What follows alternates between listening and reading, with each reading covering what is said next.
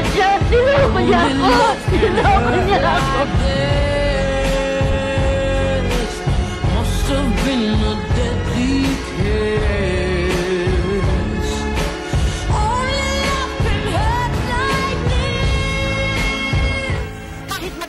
siya ko, hindi, hindi ko siya mapatatawan.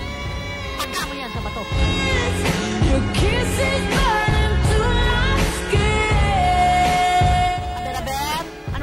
Alam mo ba, bumalik na si Charing? Sinong Charing? Ipakatakad sa amat yung araw?